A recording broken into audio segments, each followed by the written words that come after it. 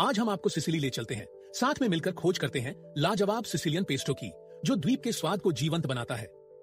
सामग्री 400 ग्राम पके हुए टमाटर, उबले और छिल्ले, बीज निकाले और निथारे हुए। 100 ग्राम उबली हुई बादाम। ताज़ा खुशबूदार तुलसी का एक गुच्छा। एक या दो लौंग लहसुन, आपकी पसंद के अनुसार।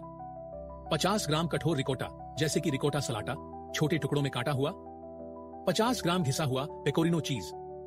अतिरिक्त कुंवारी जैतून का तेल, नमक और काली मिर्च।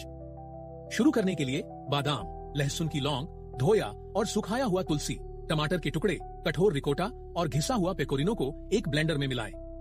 सब कुछ एक साथ ब्लेंड करें। अतिरिक्त कुंवारी जैतून का तेल जोड़ते हुए जब तक आपको एक चिकनी और काफ़ी मोटी क्रीम नहीं मिल जाती। स्वाद लें और यदि आवश्यक हो तो नमक के साथ सीजनिंग को समायोजित करें। आपके सिसिली पेस्टो पास्ता के लिए तैयार है। सिसिली पेस्टो स्पेगेटी या ब्यूसेट के साथ अद्भुत रूप से जोड़ा जाता है, जिससे हर डिश एक अनूठा अनुभव बन जाता है। नई लाजवाब व्यंजनों के अपडेट के लिए हमारे चैनल को सब्सक्राइब करें और हमारी वेबसाइट पर जाना न भूलें। ताज़ा टमाटर और सुगंधित बादाम के मिश्रण के साथ सिसिली पेस्टो, सिसिली के जीवंत स्वादों को पूरी तरह से प्रतिबिंबित करता है। हर डिश में भूमध्य सागरीय सूरज की एक झलक लाता है।